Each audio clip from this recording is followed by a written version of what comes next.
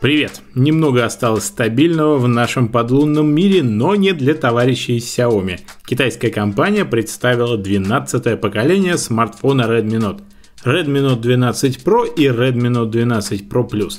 Вот и поговорим про очередные топы за свои деньги.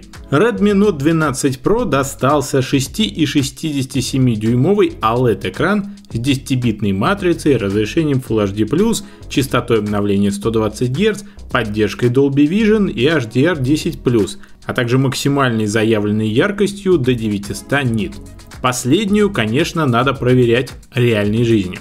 Смартфонах используется новейший 6-нанометровый процессор MediaTek Dimensity 1080, работающий в паре с оперативной памятью LPDDR4X и накопителем UFS 2.2. Как вы понимаете, чипы не самые быстрые. Емкость встроенного аккумулятора составляет 5000 мАч вне зависимости от версии, а вот скорость проводной зарядки сильно отличается. 67 Вт у прошки и 120 Вт на плюсе. Естественно, зарядка будет в комплекте. Охлаждает всю платформу испарительная камера площадью аж 3000 квадратных миллиметров.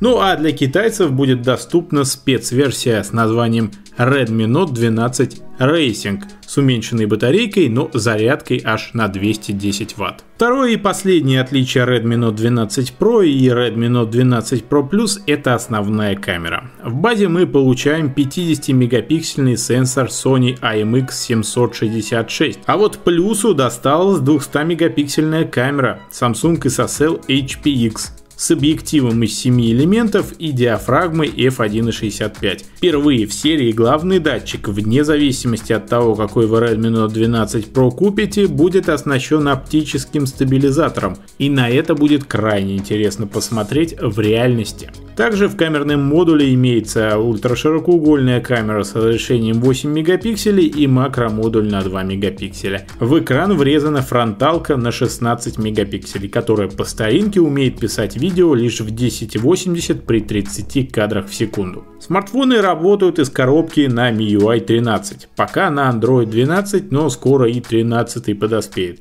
Xiaomi уверяет, что телефон сохраняет практически начальный уровень быстродействия в течение трех лет работы.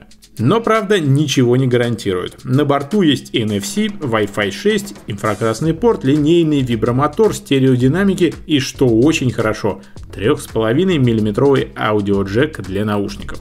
Как это бывает последние пару лет, четный Redmi Note изначально поступает в продажу на китайском рынке.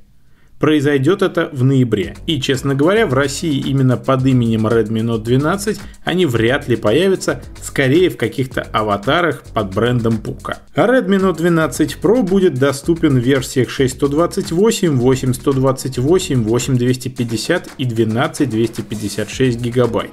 А если переводить юани на понятные нам доллары, базовый вариант обойдется в 235 баксов, а максимальный в 305. 12 Pro Plus с его суперкамерой будет дороже, но только в двух версиях. 8256, которая обойдется в 290 долларов, и 12256, за которую попросят 319 долларов.